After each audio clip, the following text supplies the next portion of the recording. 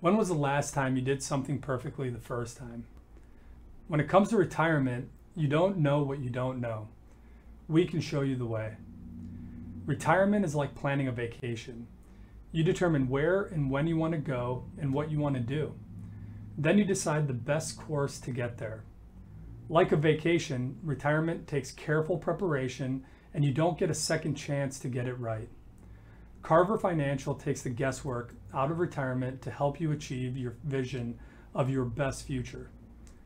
Our professionals often serve as life advisors, not just financial advisors, because retirement is more than investments or financial planning.